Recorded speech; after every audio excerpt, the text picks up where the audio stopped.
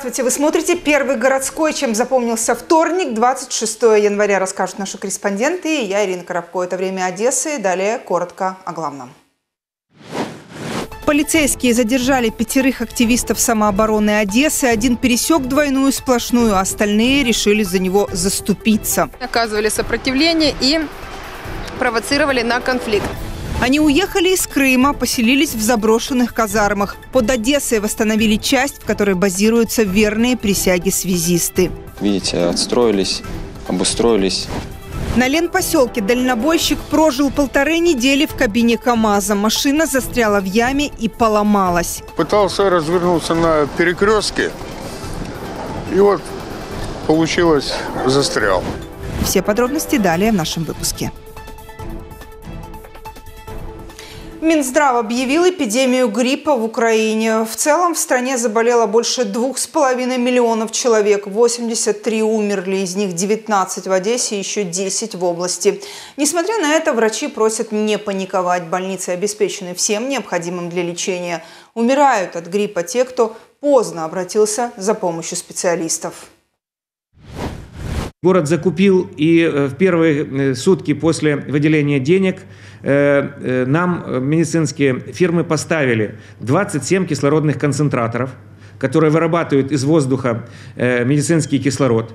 Из этих 27 четырех концентраторов, 4 концентратора могут работать на 2 пациента одновременно. Это качественная техника американского производства, которая была немедленно размещена по всем нашим медицинским учреждениям понедельник вечером полицейские задержали пятерых активистов самообороны Одессы, в том числе и Тодора Пановского и Виталия Кожухаря, которые недавно баллотировались в депутаты Горсовета. Конфликт случился, когда активисты организации на автомобиле пересекли двойную сплошную и отказались дождаться, пока патрульные оформят нарушение. По словам полицейских, активисты сказали, что спешат и уехали.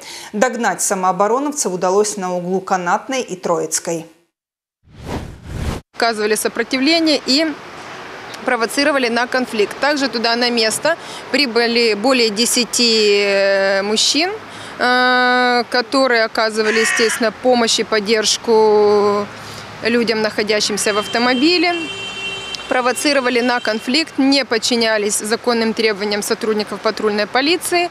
Нарушителей доставили в Приморский райотдел полиции для составления протокола, а после отпустили. Самообороновцы свою вину признают. Говорят, хотели объехать пробку, а двойную сплошную просто не увидели из-за снега. К тому же за рулем был человек, который плохо знает Одессу.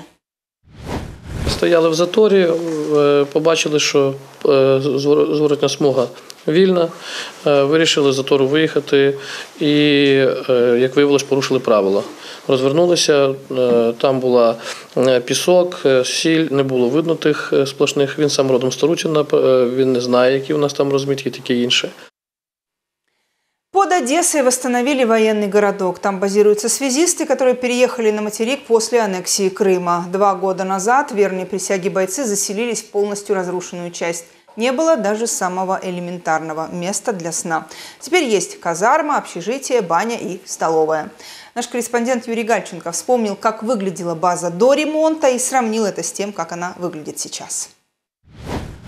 Так выглядела столовая, когда в эту часть переехали связисты из оккупированного Крыма. Мох на потолке, выбиты окна и двери. Разгорелся скандал, и часть начали ремонтировать. Теперь тут появилась даже полноценная кухня. Печи, плиты, вытяжка, все как полагается. Столовая уже готова, осталось организовать поставку продуктов. После аннексии Крыма приехали сюда, здесь был заброшенный городок, ну, личными силами, помощью волонтеров и командования, видите, отстроились обустроились. Сейчас в части служат только контрактники и мобилизованные. Для офицеров восстановили общежитие, для рядового состава – казарму. Днем здесь немноголюдно. Личный состав помогает бороться с последствиями снегопада в области. Александр служит уже 10 месяцев. При виде телекамеры не теряется. Передает привет родным в Днепропетровскую область. Александр, я тебе передаю привет.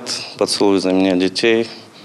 Мам, я тебя тоже очень люблю. Привели в порядок и баню. Здесь наладили отопление, поставили бойлер и восстановили душевые.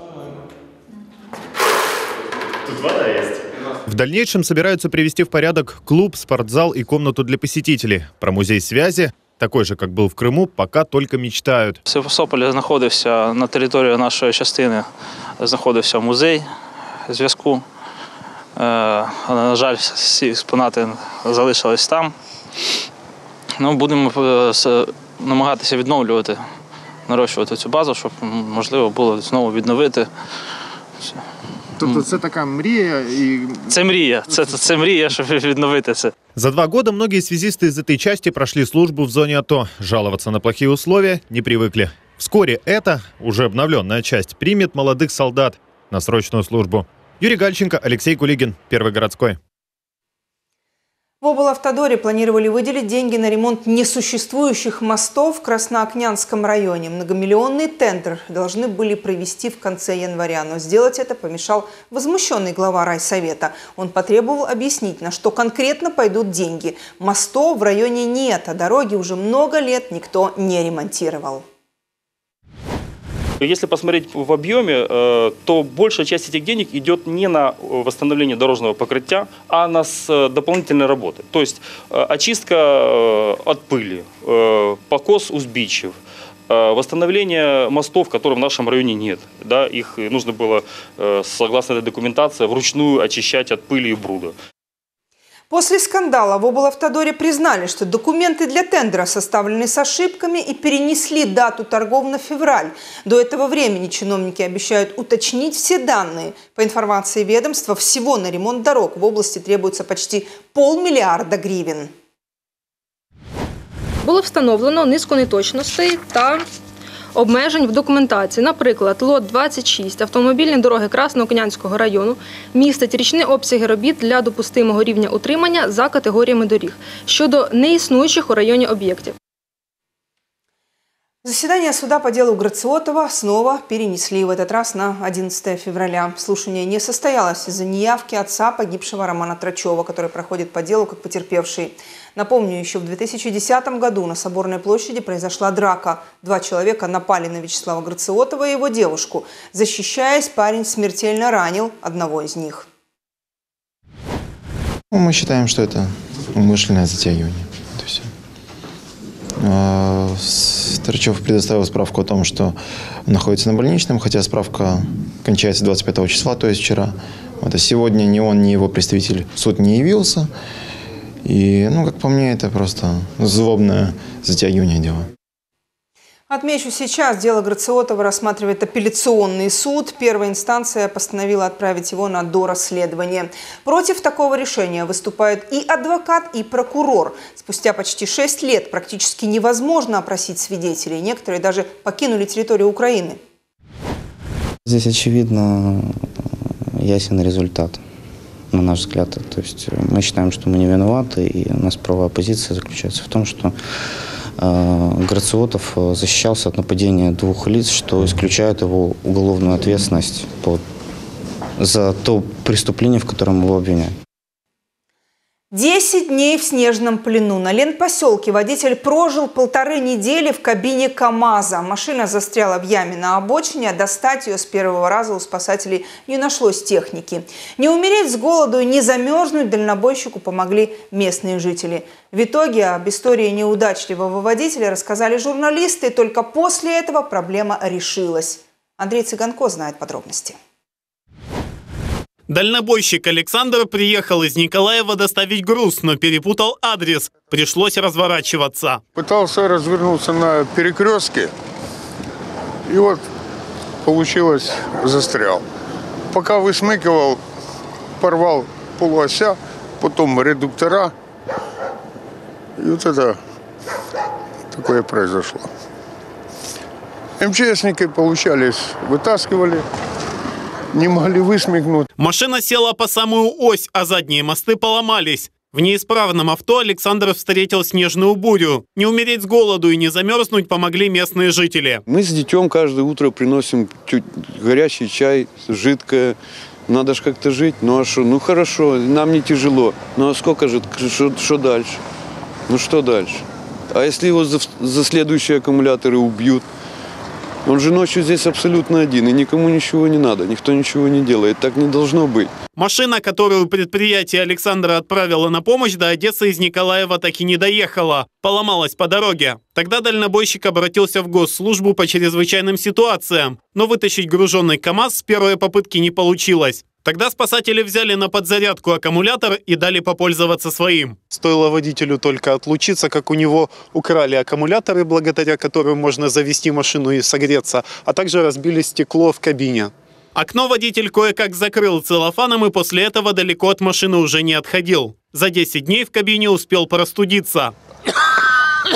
Во вторник утром об истории Александра узнали читатели первого городского сайта, а уже через несколько часов у спасателей нашлась техника, чтобы вытащить машину из ямы. Говорят, как раз освободилась после борьбы с последствиями снегопада в области.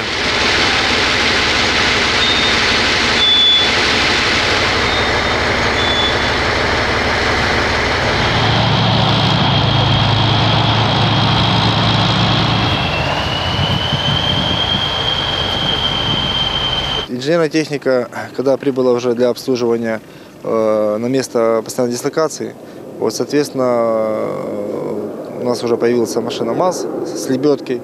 Вот, и мы приняли решение, что можно попробовать э, как бы, лебедки. Вот сегодня принято было, было решение вытащить лебедки. Как вы видели, что у нас получилось. Поломанный КАМАЗ и прицеп спасатели отбуксировали в ближайшую часть. Оказалось, что она находится всего в 500 метрах от места происшествия. Сегодня, завтра утром отремонтирую и буду отправляться по месту назначения, разгружать груз. Очень большое спасибо одесситам, некоторым людям, которые помогли. Теперь Александр ни на кого зла не держит и просто рад, что все завершилось благополучно. Андрей Цыганко, Алексей Кулигин, Александр Пережилин, Первый городской. Пожар возле двух столбов на улице Тираспольское шоссе горел склад площадью 200 квадратных метров. Пламя уничтожило крышу, перекрытие и имущество, которое хранилось в помещении.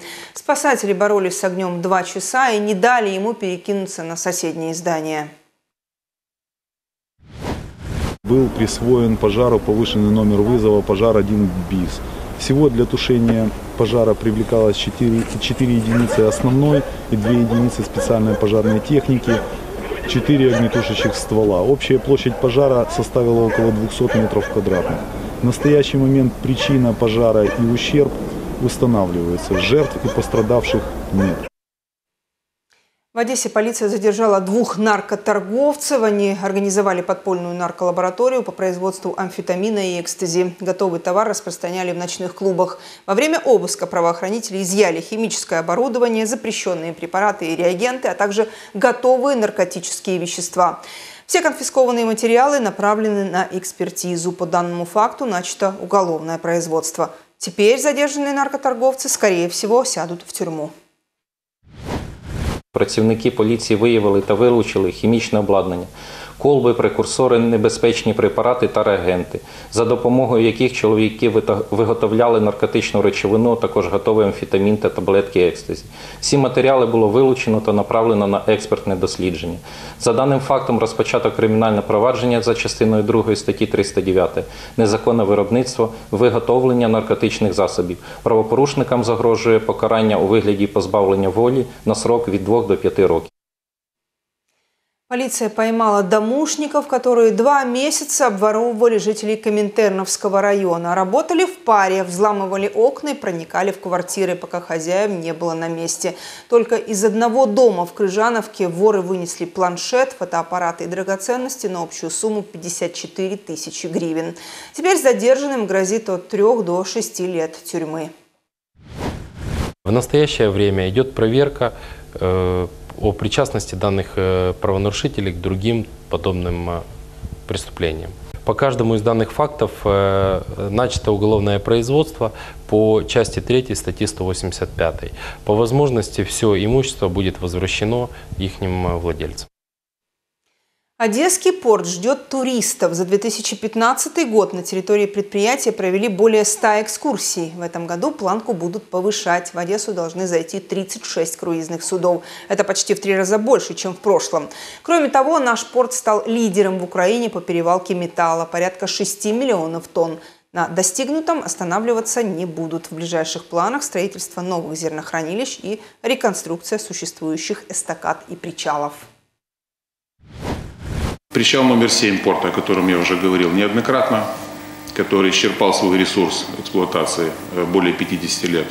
Он реконструируется, сегодня проводятся э, геологические изыскания. Ставим себе планы на 2016 год начать э, конкретно уже строительные работы по реконструкции. Это произойдет, я надеюсь, где-то октябрь-ноябрь этого года. Одесские художники готовят экспозицию к Международному дню памяти жертв Холокоста, традиционно 27 января. К годовщине возле Еврейского культурного центра выложат обувь самых разных размеров. Ее специально выкрасили в белый цвет, чтобы подчеркнуть безликость толпы. Официально Холокост унес жизни 6 миллионов евреев. Сопровождать выставку будут указатели с названиями концлагерей. Воздействие нашей инсталляции на зрителя будет не только э, визуального характера, но еще и э, будут использоваться различные звуковые эффекты, да, дабы э, проникнуться э, той ситуацией, которая была довольно-таки давно. Вот. Э, люди, которые придут на инсталляцию, они увидят, э, в общем-то, эпизод э, ограждения концлагеря. Э, вполне реалистично это будет все воссоздано. На Ильичевской паромной переправе снова зимуют лебеди. Когда-то, много лет назад, они облюбовали это место, и с тех пор и местные жители, и заезжие гости наблюдают подобную картину ежегодно. Людей птицы уже давно не боятся, а особо смелые берут еду прямо из рук. Пусто здесь не бывает. Покормить пернатых и сфотографироваться хотят многие. Среди них была и Ольга Клименко. На паромной переправе зимует несчетное количество уток и чаек, но главное – около сотни лебедей. Именно к ним приковано основное внимание людей.